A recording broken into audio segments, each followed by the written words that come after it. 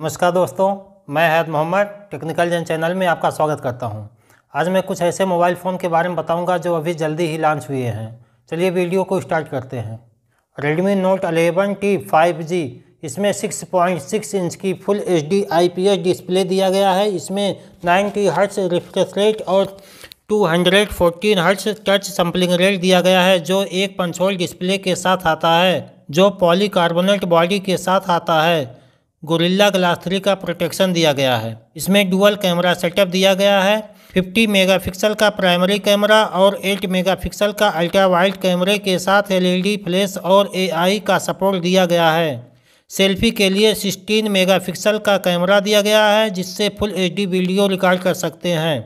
अब बात करें इसके प्रोसेसर की तो इसमें मीडियाटेक डायमेंसिटी 810 5G प्रोसेसर दिया गया है।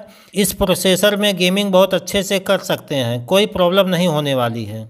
इसमें हाइब्रिड सिम स्लॉट दिया गया है। 5G के सात बैंड दिए गए हैं डुअल स्टीरियो स्पीकर दिया गया है। ए आई ब्लास्टर यानी मोबाइल को रिमोट की तरह यूज़ कर सकते हैं, का सपोर्ट दिया गया है।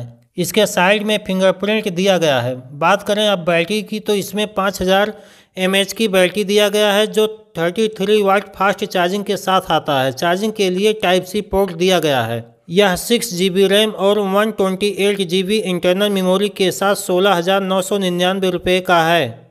टेक्निकल जन चैनल को अगर अभी तक सब्सक्राइब नहीं किया तो जल्दी से चैनल को सब्सक्राइब कर लीजिए और बेल आइकन को ऑन कर दीजिए, जिससे हमारी लेटेस्ट वीडियो की नोटिफिकेशन आप तक सबसे पहले पहुँच सके। अगला मोबाइल है लावा अग्नि 5G इसमें 6.78 inch full H D I P S punch hole display दिया गया है। प्रोटेक्शन के लिए गोरिल्ला ग्लास थ्री का प्रोटेक्शन दिया गया है।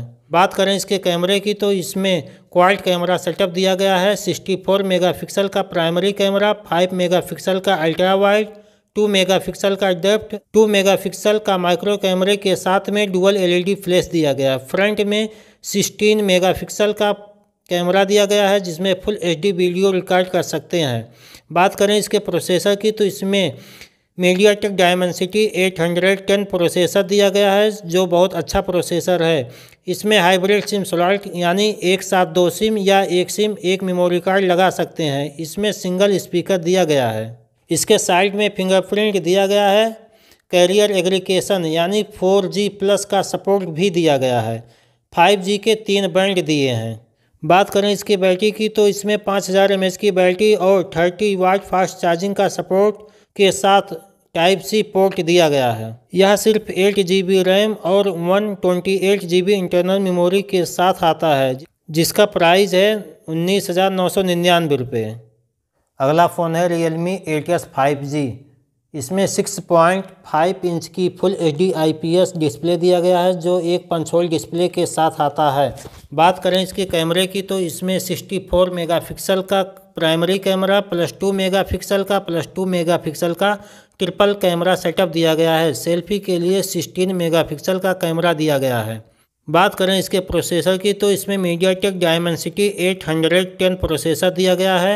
इसमें सिंगल स्पीकर साइड में फिंगरप्रिंट दिया गया है। 5G के सात बैंड दिए गए हैं। बात करें इसकी बैटरी की तो इसमें 5000 हज़ार की बैटरी के साथ 33 वाट फास्ट चार्जिंग का सपोर्ट दिया गया है, जिसमें टाइप सी पोर्ट दिया गया है।